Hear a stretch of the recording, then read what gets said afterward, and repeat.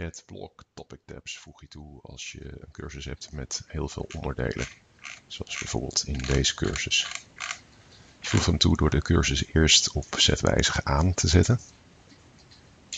Vervolgens scroll je naar onderen en dan zie je hier de optie om een nieuw blok toe te voegen. In ons geval dus Topic Tabs.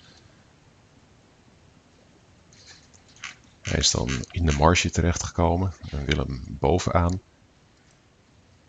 Dus we klikken via de radertjes eerst op configureer blok topic tabs.